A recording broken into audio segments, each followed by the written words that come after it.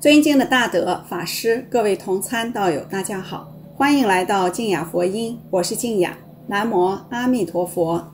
我今天呢，给大家讲一个故事，是一位法师因为妈妈往生而出家的一个因缘。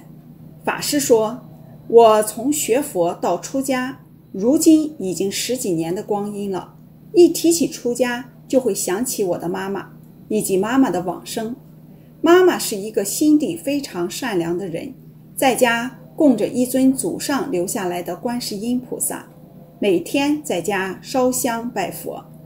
我看在眼里，既不支持也不反对，心想只要老人家高兴，就当解闷儿吧。妈妈因为心地善良，为人热情，所以和邻里关系处得很好。在我印象中，谁家有困难。妈妈都是当仁不让，伸出援助，即使家里来个乞丐，也会让到屋里面，请人一起吃饭。那时我们很小，总是懵懵懂懂的心想，这个大人真奇怪，也不嫌弃乞丐肮脏。妈妈还是一个很能干的女人。当时父亲长期在外地工作，家里的一切都是妈妈来打理。妈妈一个人支撑着家，含辛茹苦地把我和三个兄长拉扯成人，甚是艰辛。记得一九九六年农历十一月的一天，晴空万里，太阳照射着大地，若有丝丝的暖意。那天上午，我正在工作，突然觉着心里头一阵莫名的恐慌，感觉好像有什么事情要发生似的。也许这就是亲人之间的心灵感应吧。于是我急忙回家了。当我推开妈妈的房间，被眼前的一幕吓呆了。只见妈妈双腿双盘，双手合十，眼睛微闭，正一动不动地端坐在床上。见此情景，我颇为反感，大声地呼喊：“妈妈，醒醒！你在干什么呀？”这时，妈妈被我唤醒了，眼睛微微的张开，对我“嘘”的一声，示意我不要吵，并神秘兮兮地说：“闺女啊，我看见观世音菩萨来接我了。”我一听就说：“别胡扯了，哪里有什么观音啊？那些不过是神话小说虚构人物而已，我才不信呢。”妈妈说：“是真的。”我问：“那你说说？”菩萨到底长成啥样啊？妈妈说很漂亮，很庄严，样子如同《西游记》里的一样。我一听，哈哈大笑。你老怎么好好的，净说些胡话呀？妈妈说严肃点儿，不是和你开玩笑的。我今天真的要走。其实一年前我就该回去了，只是不放心你，所以再逗留了一年。现在无论如何，我也要走了。我一听。生气地说：“我就不信这个邪！今天倒是要看看你是怎么个走法。”妈妈说：“快别胡闹了，你可没少造口业啊！求你赶快回头吧。”我说：“我又没有做什么坏事，何谈造业之说？”妈妈无奈地摇了摇头说：“你别看你现在不信佛，将来你的归宿就在佛门啊！”我说：“得了吧，我还没享受够呢。”干嘛去佛门呀？我没好气地回应着。妈妈温和地说：“孩子，那是必然的结果，可不要违背天意哦。”接着又交代他走后，我不要哭，和我说了一些话之后，就安静地坐着，也不说话了。后来我就给妈妈削苹果吃。当我从厨房削完苹果，一下惊呆了。此时，妈妈好像入了甚深禅定一般，一动不动地坐在那里，无论怎么叫也不应我。我下意识地伸手去试她的呼吸，没有了；又试了脉搏，还是没有。此刻，我整个人也没有了思维，根本也不知道哭，也没有悲伤，心里异常的平静，好像时间停滞，空气凝固了一般。我的神识也随着妈妈飘向了远方，妈妈就这样坐着往生了。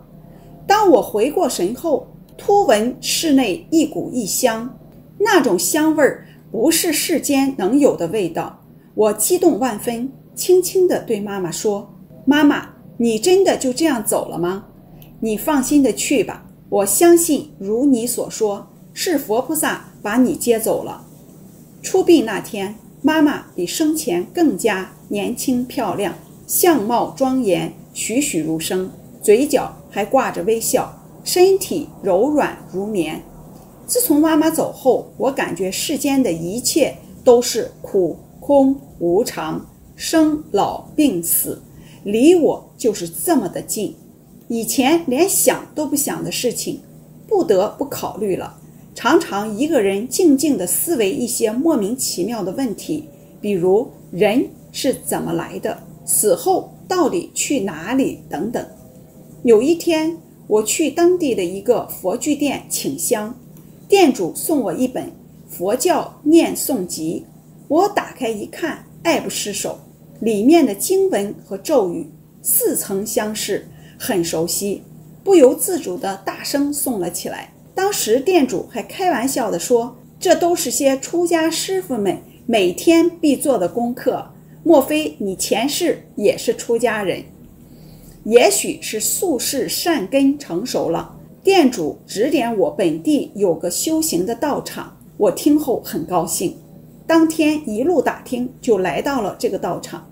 记得那天是五月初一，烧香的人很多。我长这么大，这是第一次来这个地方，于是在外面也学着别人的样子，点了三支香，然后步入大雄宝殿。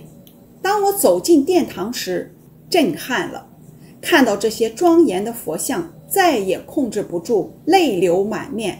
好像一个漂流已久的游子回到了妈妈的怀抱。我终于回家了。从那天以后，我每天护持道场，和大家共修，参加早晚功课，随助念团助念，每天沐浴在佛法的滋润中，觉得自己的生命开始有了真正的意义。我的出家也是必然的，正如妈妈所言，我将来。是佛门中人学佛后六年的一个春天，经一位法师的引荐，在福建慈化寺剃度出家，并于同年受了具足戒。一切都来得那么的自然，连自己也没有想到，今世有这么大的福报，能披上如来法衣，做弘法利生的光荣事业。所有的一切要感恩佛恩浩荡，感恩菩萨妈妈，她老人家就是来引渡我的。如果不是菩萨妈妈用这种方式度化我，如果不是我亲眼所见，我想今生也无缘步入佛门，只能庸庸碌碌的了死残生了。所以此生我不能辜负了妈妈，我一定要和妈妈。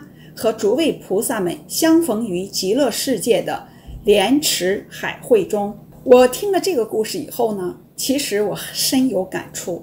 他是有一个佛菩萨的妈妈，我是有一个佛菩萨的儿子，也是因为儿子的因缘，我才学佛念佛，才去了万佛圣城皈依三宝。我当时第一次去万佛圣城的时候，就跟这位法师的心境完全一样。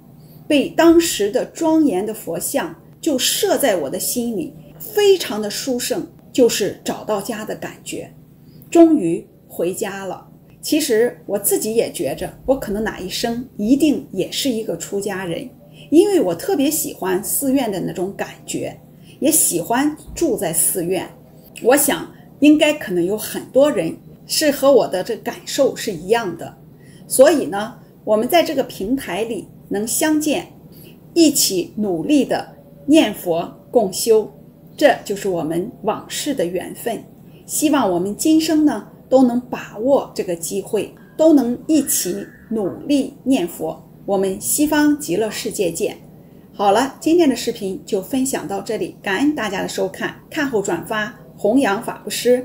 喜欢请点赞订阅，我们下期再见。南无阿弥陀佛。